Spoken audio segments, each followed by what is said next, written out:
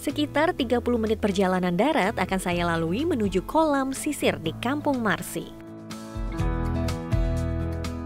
Sesampainya, ternyata air laut sedang surut nih travelers. Saya pun langsung ke dermaga untuk melihat pemandangan yang lebih luas lagi. Karena air surut, dari dermaga ini terumbu karang dan ikan terlihat jelas loh travelers. Contohnya saja, Karang dengan jenis koral masif ini berwarna ungu. Sedangkan ikan yang saya lihat dengan jelas ialah Morris Idol.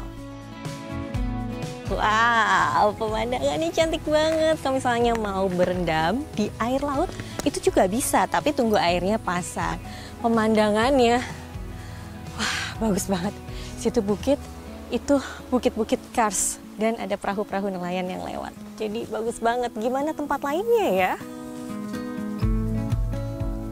Memandang ke arah depan membawaku seakan menyatu dengan alam. Perahu kecil nelayan pun berlalu lalang menuju arus laut yang sudah menyempit. Kondisi air sudah mulai pasang. Anak-anak mulai bermain di tepi laut Canda tawa gurau membawa kehangatan bagi saya yang melihatnya. Air yang tak terlalu dalam, indahnya tebing kars, serta perpaduan warna hijau dan toska. Sangatlah memanjakan mata ya travelers.